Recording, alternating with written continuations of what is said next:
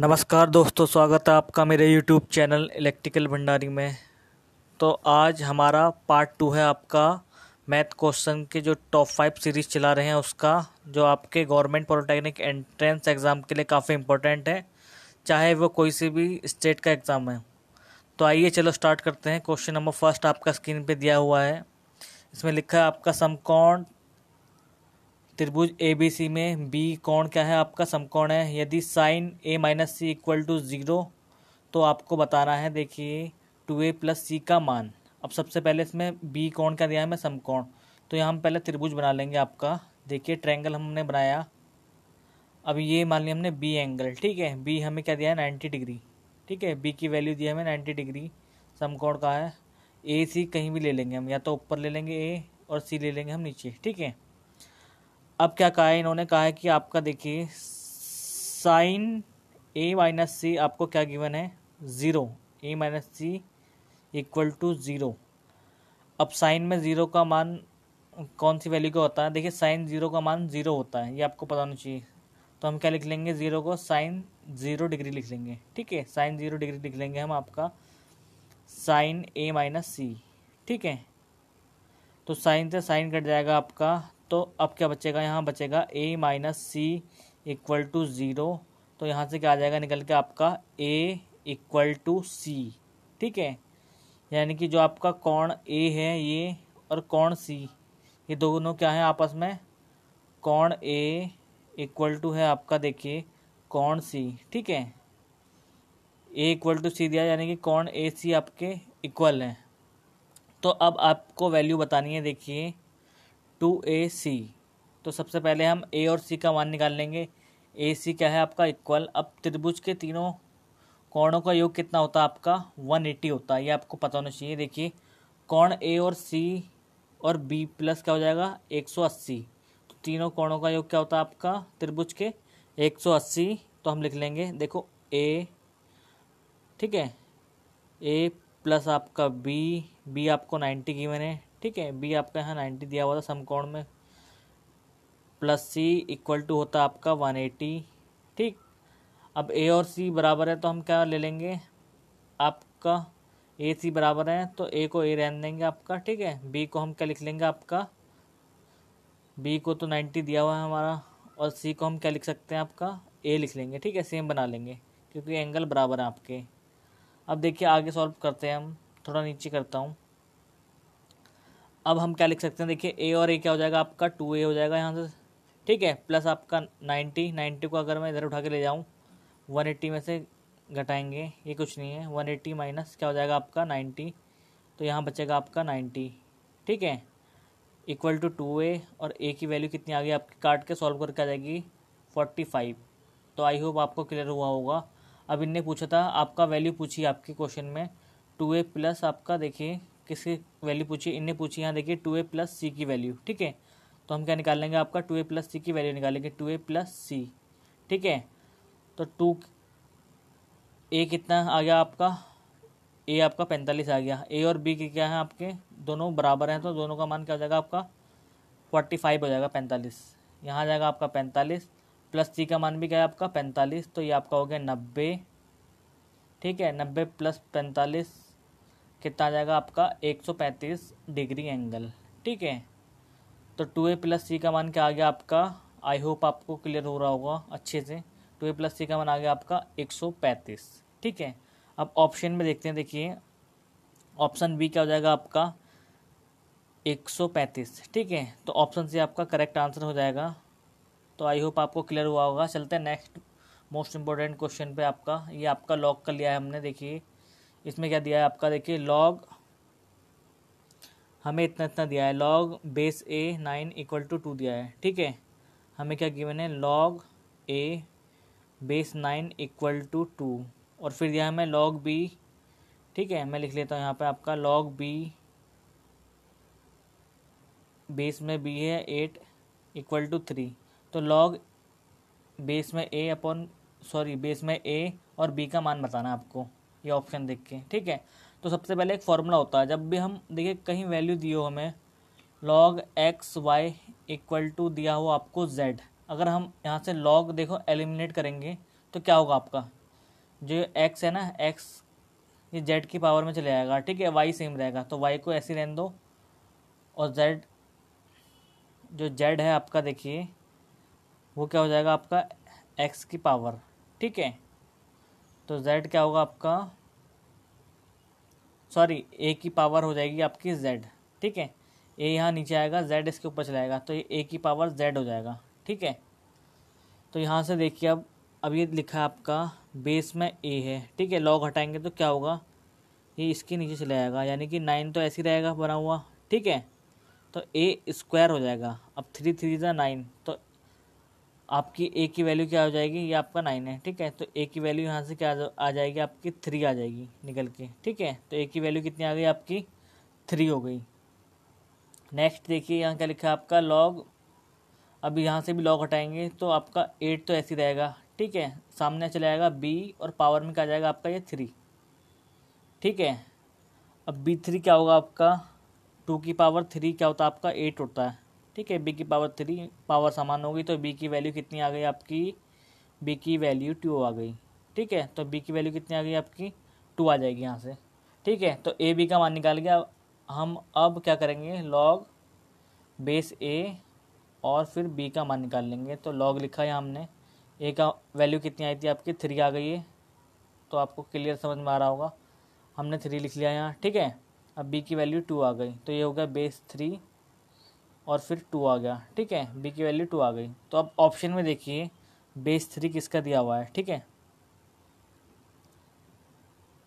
तो option A देखिए क्या कह रहा है। लॉग थ्री बेस में और फिर टू ठीक है? तो ऑप्शन ए क्या हो जाएगा? आपका राइट आंसर हो जाएगा। चलते हैं नेक्स्ट क्वेश्चन पे।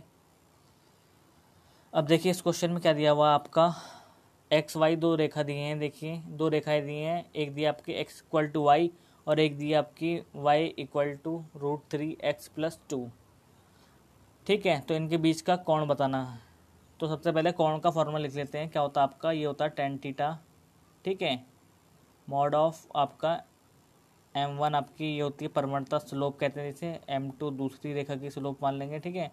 वन प्लस क्या होता है? एम वन एम टू ठीक है मॉड अब देखिए हम इन दोनों रेखाओं की तुलना कर लेंगे, ठीक है? इसकी परमणता एम वन मान ली हमने और इसकी हम मान लेंगे एम टू ठीक है? एम वन एम टू की वैल्यू निकालनी है।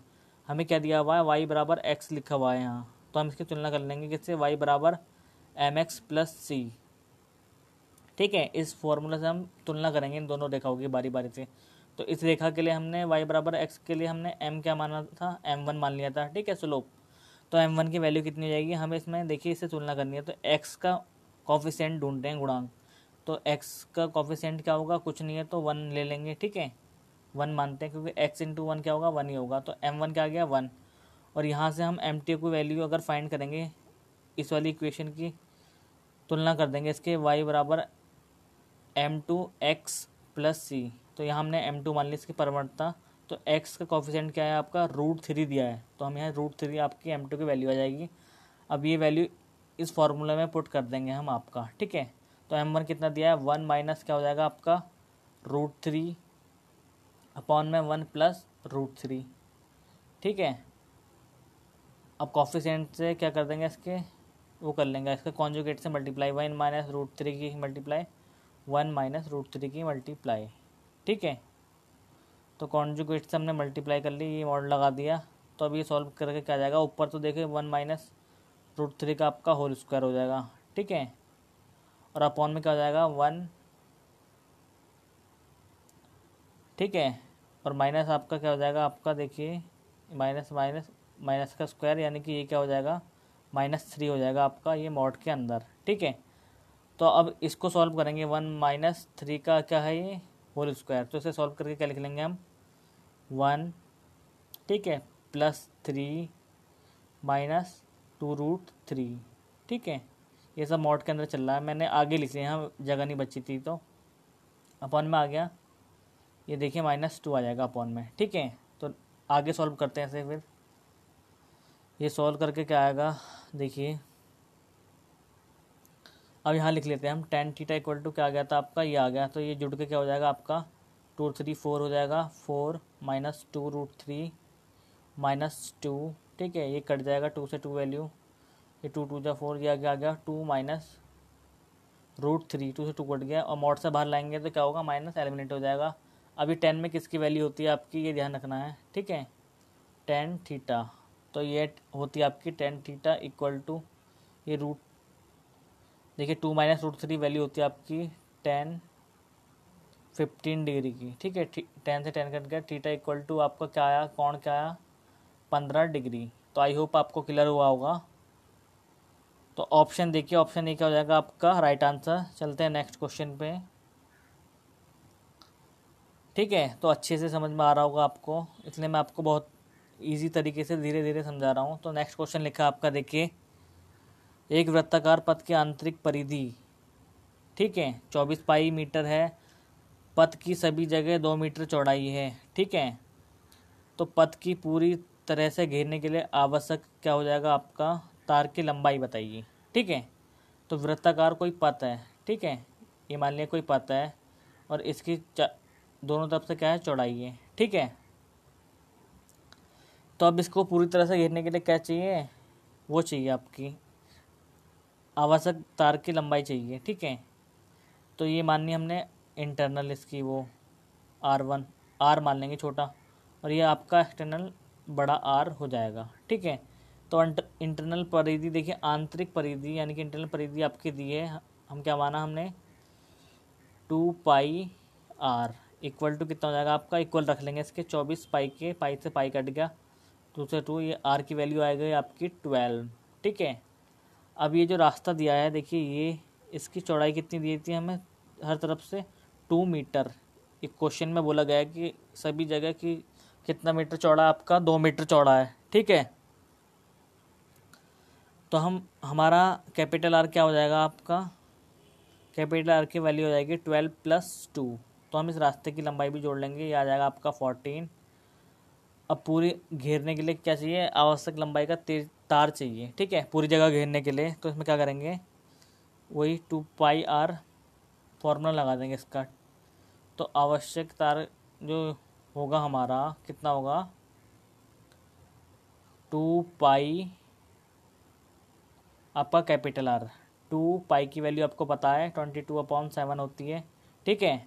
और आर की वैल्यू आपको हमने फोर्टीन निकाली है तो फोर्टीन टू ज़ा, ठीक है? फोर्टी फोर टू ज़ा एट्टी एट मीटर, ठीक है? तो आवश्यक तार की लेंथ कितनी आ गई आपकी? अठासी मीटर। ऑप्शन डी क्या हो जाएगा आपका? राइट आंसर चलते हैं नेक्स्ट क्वेश्चन पे। नेक्स्ट क्वेश्चन दिया आपका, देखिए, पाँच संख्याओं का समांतर माध्य अट्ठारह है, ठीक? अब यदि एक संख्या निकालने पर समांतर माध्य सोलह हो जाए तो निकाली गई संख्या बताइए। तो सबसे पहले इन, देखिए, पाँच संख्याओं का आपका क्या दिया है? पाँच संख्याओं को यहाँ लिख लेते हैं। संख्याओं का समांतर माध्य आपको क्या दिया है? देखिए, एटीन दिया है, ठीक है? तो पाँच संख्याओं का योग कितना हो जाएगा? पाँच संख्याओं का योग टोटल कितना हो जाएगा आपका? योग हो जाएगा एटीन इंटू फाइव ठीक है? यानी कि ये क्या हो जाएगा आपका नाइन्टी, ठीक? अभी कह रहा है एक संख्या निकालनी तो उसका समांतर माध्य सोलह आता है, यानी कि एक संख्या निकालेंगे तो चार हो जाएगा। चार संख्याओं का आपका समांतर माध्य कितना दिया है? समांतर माध्य दिया हुआ है आपका कितना? सिक्सटीन, ये लिखा हुआ है, देखिए। तो ये क्या हो जाएगा आपका सिक्सटीन, और चार संख्याओं का योग कितना हो जाएगा आपका, देखिए, सिक्सटीन इंटू फोर ठीक है? तो ये कितना हो गया? सोलह चौको चौंसठ सिक्सटी फोर तो इसमें पूछ रहा है ने निकाली गई संख्या की संख्या है। ठीक है तो निकाली गई संख्या निकाल लेंगे हम। निकाली गई संख्या, ठीक है। संख्या क्या होगी? इस वाले नाइन्टी में से आपका एट्टी फोर घटा देंगे, ठीक है, इनके योग में से तो वो संख्या आ जाएगी। तो नाइन्टी माइनस क्या हो जाएगा आपका? सिक्सटी फोर तो ये बचा आपका ट्वेंटी सिक्स। ठीक है? तो ऑप्शन बी देखिए, आपका राइट आंसर हो जाएगा। तो आई होप आपको अच्छे से समझ में आया होगा। चलते हैं नेक्स्ट क्वेश्चन पे। सॉरी ये आपका लास्ट क्वेश्चन था। ठीक है? तो आई होप आपको अच्छे समझ में आया होगा। तो अगर ये वीडियो आपको अच्छी लगी तो इस चैनल को सब्सक्राइब करें और इसमें कमेंट करके ज़रूर बताएँ। तो मिलता है आपको नेक्स्ट वीडियो में। Bye bye guys